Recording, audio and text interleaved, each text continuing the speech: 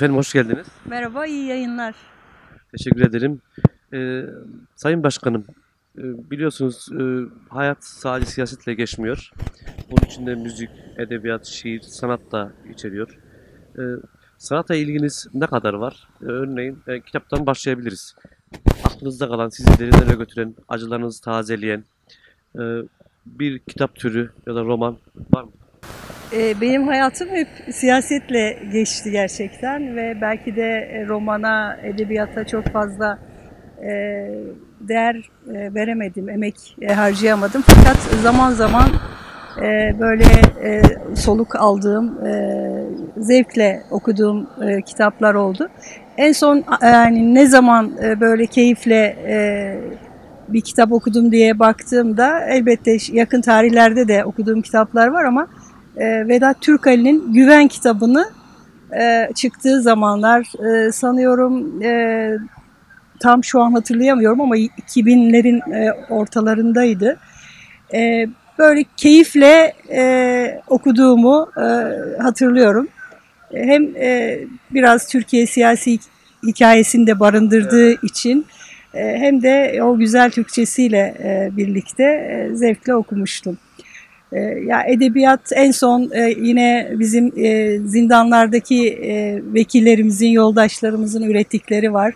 E, Sevgili Selahattin Demirtaş'ın e, öykülerini e, okudum. E, onda çok etkilendiğim e, bölümler oldu. Örneğin iki kardeşin e, daha ucuz şeker almak için e, birlikte bir yolculuğa çıktıklarını ama o şeker çuvalını taşıyamadıkları için dönüşte bir at arabasından e, at arabasını kiraladıklarını e, anlatan hikayesi çok hoşuma gitmişti. Ben kendi hayatımdan da deneyimlerden de e, bir kesit gibi gelmişti.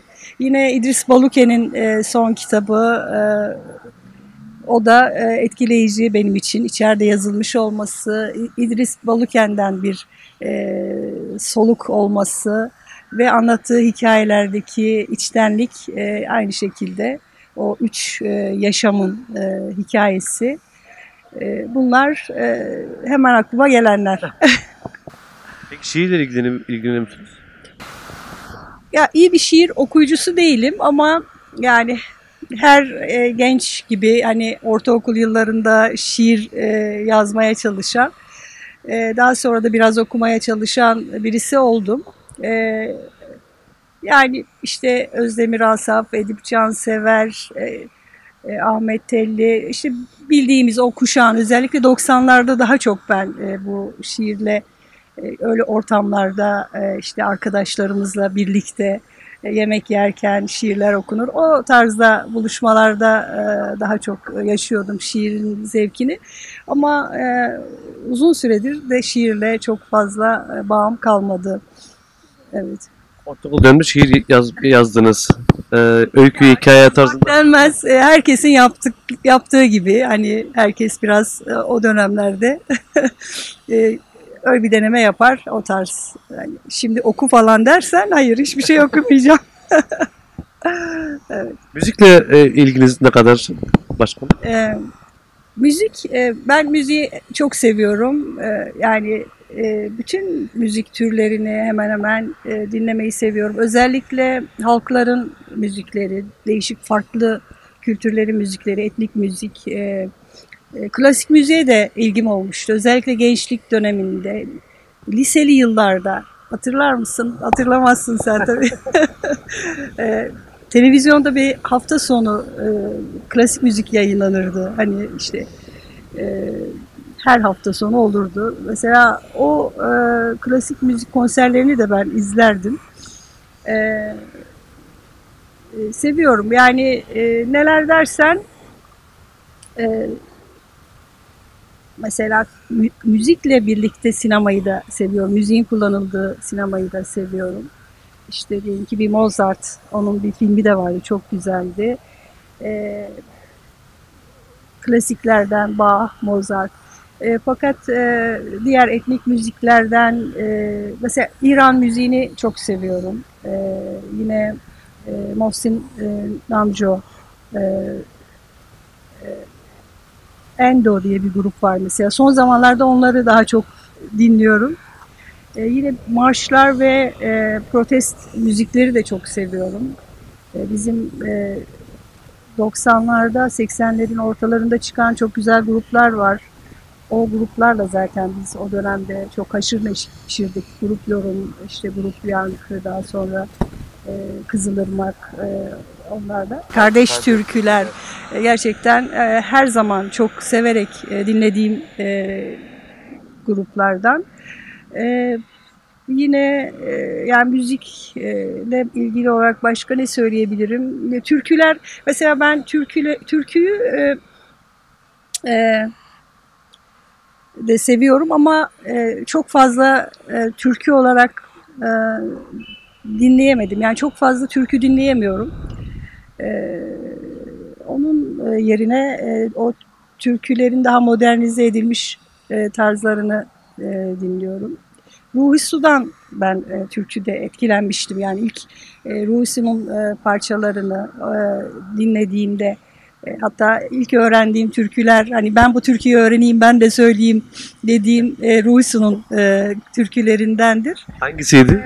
Yani işte birkaç tane var. Bir tanesi drama köprüsü bazen söylerim. Hani buluşursunuz da hani hadi herkes mutlaka söyleyecek atlayamazsın mutlaka sen de söyleyeceksin dendiğinde hani söyleyebileceğim öyle bir e, birkaç türküden biri.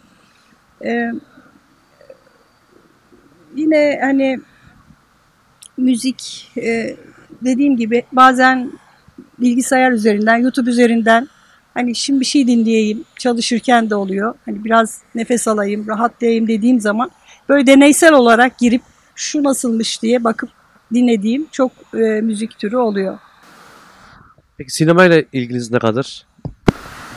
E, sinema e, yani sinemaya gitmeyi başaramıyorum. E, özellikle son yıllarda bunu e, hiç yapamadım. Ama üniversite yıllarında ve daha sonra e, bir aktivist olarak ve mücadelenin içerisinde koştururken de hani bu filmleri mutlaka izlemeliyiz deyip gittiğimiz e, filmler oldu. Bu sinema festivallerini falan çok böyle hani biletler alırsın ve gidip takip edersin. Çok öyle şansım olmadı ama iyi filmleri daha sonradan indirerek e, işte izlemeye çalıştım. E, öyle e, çok film var. E, yine ben İran filmlerini seviyorum. Onları da izliyorum. Yani e, dünya filmlerinden baktığım zaman e, bu Orta Doğu e, e, filmleri e, ilgimi çekiyor. E, yine e, Avrupa'nın o hani çok emek ver, verirsin, e, öyle izleyebilirsin filmlerini. Ben filme emek verebilen insanlardanım. Yani film eğer duygu olarak, fikir olarak beni çektiyse e, onun beni sürüklemesini beklemektense ben e, onu izlemeye ve anlamaya e, çalışırım. E, o ortamın içerisinde, o filmin içerisine girmeye çalışırım. E, o açıdan e, daha çok e, e, indirdiğim filmleri izleyebiliyorum. Örneğin en çok aklınızda kalan film hangisi? Ya e, çok güzel filmler var ama hani böyle dönüp baktığımda şu film beni çok etkiledi. Hani verirsin örnekler de verirsin. İşte şu filmde olduğu gibi falan. Çok eskiden e, e, izlediğim Truman Show mesela her zaman bir politik meseleyi de anlatırken tıpkı Truman, Truman Show'daki gibi falan dediğimiz e, filmlerden ama e, birçok film var. E, doğrusu şu anda isim olarak hatırlamıyorum ama e, daha çok insan hikayelerini anlatan, toplumsal meseleleri e, de e, o küçük e, insan hikayeleriyle birlikte ortaya koyan, e, kendimizi de tanımayı, e, insanı da tanımayı sağlayan, belki kafamızdaki e, sorulara başka insanlar hangi cevapları bulmuş acaba deyip e, izlediğimiz e, pek çok e, film var. Peki en başarılı bulduğunuz aktör hangisi? Ee, Türkiye için soruyorum. ya ben e, kendimi öyle bir e, pozisyonda hissetmiyorum. Yani şu aktör e, çok başarılı değil. İzleyici olarak. Yani e, bir isim vermem herhalde çok zor olacak. Yani şu anda yani e, çok zor. E, yani aktörden çok herhalde e, anlatılan hikaye ve benim o hikayenin içinde kendimi bulabilmem ve farklı e, şeyleri orada e, görebilmem önemli.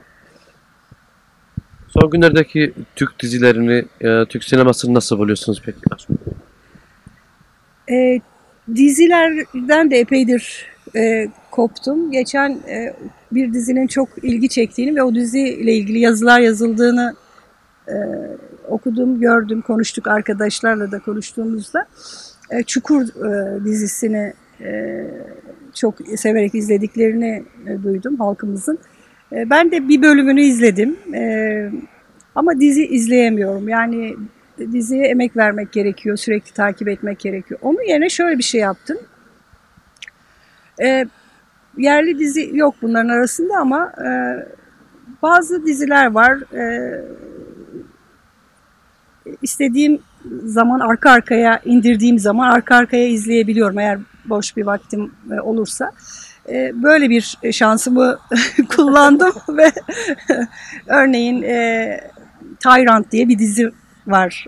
O diziyi bütün bölümlerini değil ama benim ilgimi çektiği noktaya kadar bölümlerini izledim. Orta Doğu'da geçen bir hikaye. Yani e, Tyrant adlı e, bir ülkeden bahsediyor ama aslında bizim hikayelerimizden de biraz bahsediyor.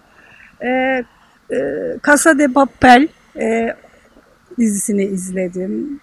Böyle birkaç tane e, işte e, mesela Black Mirror'ın bazı bölümlerini izledim. Böyle şeyler yaparak yani bunları e, kendi televizyonuma indirerek oradan izleyebiliyorum. E, böyle soluk almaya çalışıyorum diyebiliriz. ya bu yoksa gerçekten bu e, siyaset e, temposu sürekli olarak e, hani politika e, çok fazla şey e, önümüze getiriyor. Türkiye'de e, her gün yeni bir şey oluyor.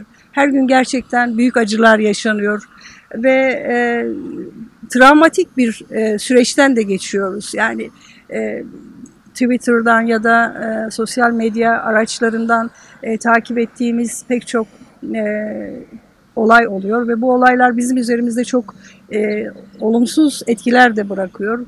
Bazen soluklanmak, bazen bunlar üzerinde düşünebilmek, e, nefes almak için e, kendimize böyle molalar vermemiz gerekiyor. Zaman ve mekan konusunda çok bağlayıcı olmadığı için artık e, medyanın bu e, olanaklarından yararlanıyoruz. Yani film indirmek, dizi indirmek, oradan biraz izleyebilmek. Benim yapabildiğim bu. Peki e, Sayın Başkanım, ilkokulu ilk başladığınız günü hatırlıyor musunuz? Evet, e, yani şöyle ilk ilk günü de hatırlıyorum ama bir de hani 15 tatil, ara tatilden gittiğim ilk günü hatırlıyorum. Yani okul 15 gün ara vermiş. Ondan sonra gittiğim ilk günü hatırlıyorum. Onu hiç unutmuyorum. Şöyle e, Ardahan'da okudum ilkokulu. 20 Şubat İlkokulu'nda birinci sınıfı orada okudum.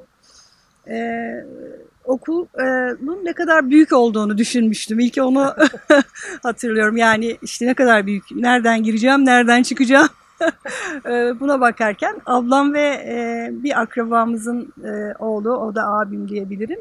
Onlarla beraber gitmiştik. Zaten babam öğretmen olduğu için hani e, daha rahat hissediyordum ama yine de okulun büyüklüğü beni etkilemişti. Daha sonra işte ara tatilden sonra annem beni çok kapatmış. Yani çok kar var dışarıda ve e, ya gözlerime kadar neredeyse her tarafımı e, atkılarla kapatmış ve bir mumya gibi sınıfa girdim e, ve e, sınıfta öğretmenim şey demişti. E, bu gelen kim? E, tanıyamadık e, demişti hani hiç görünmüyor yüzü. E, o, o da kalmış bende iz bırakmış. Annem çok e, sardığı için, sarmaladığı için e, o karda yürüyerek belli bir mesafede e, Karagöl Mahallesi'nde oturuyordum ve Karagöl Mahallesi'nden 20, Şub 20 Şubat İlkokulu e, epey bir mesafeydi ve e, üşümeyeyim diye öyle bir e, sarılıp sarmalanmıştım. O yaşlarda her herkesin sorduğu bir soru vardı. E, büyüyünce ne olacaksın? Size ne sormuşlardı? E, Evet, o soru soruluyordu tabii. Büyüyünce ne olacaksın? Ben edebiyatçı olurum diye düşünüyordum. Nedense öyle bir şeyim vardı. Hani edebiyatçı olurum, bir şeyler yazarım diye. Onları, edebiyatçıları e, çok e, önemli ve kıymetli görüyordum o zaman. İleride yazmayı düşünüyorsunuz. Hala da öyle. Yani öyle çok e, edebiyata yatkınlığımın e, olmadığını düşünüyorum. Hani belki otobiyografik şeyler ya da e, belli temalar üzerine belli çalışmalar yapabilirim.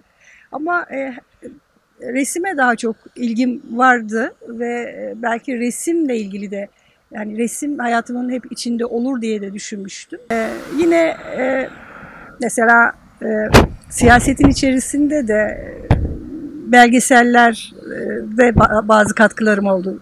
Özellikle ev işçilerinin mücadelesini sürdürürken e, sevgili Emel Çelebi ev, ev işçilerini e, belgesel yapmak istemişti. Onunla iyi bir partner olmuştuk biz mesela. E, e, evet. E, Hatta şey diyordu ya ben aslında bu belgeselin yapımcısı olarak seni yazmak istiyorum. Yani o kadar çok içine girmiştim. E, o tür e, projelerde, o tür e, yani hikayelerde, hayatın anlatıldığı e, hikayelerde, belgesellerde e, evet bulunmak isterim. Yani böyle şeyleri e, kal- kalıcı olmaları için, e, diğer kuşaklara aktarılmaları için ya da dönemimizde daha derin olarak bu konular üzerine yoğunlaşmak isteyenlere sunulması için e, başkalarıyla tabii beraber bu konularda çalışmak isterim. Ama e, e, etkileyici gerçekten. Et- ben de etkileniyorum belgesellerden, sinemadan, e, resimden. e,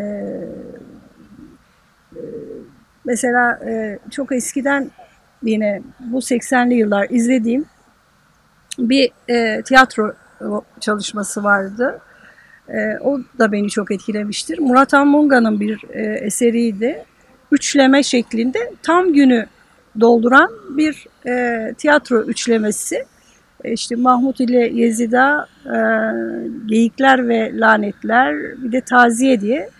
E, o zaman benim için de e, aslında uzak olan, çok içine girmediğim bir dünyayı da anlatıyordu ve e, daha da çarpıcı olan insanların bir gününü böyle bir e, çalış yani böyle bir sanat içerisine e, vakfetmeleri. Siz oradan çıktığınız zaman birdenbire e, hani başka bir dünyaya girmiş ve çıkmış gibi hissediyordunuz. Beni daha çok bu kısmı da e, etkiledi. Peki programa katıldığınız için teşekkür ederiz. Ben teşekkür ederim. Bu haftaki konuğumuz e, Sayın HDP Milletvekili Serpil Kemal Baydı. E, gelecek hafta farklı bir konukla buluşmak üzere. Hoşçakalın.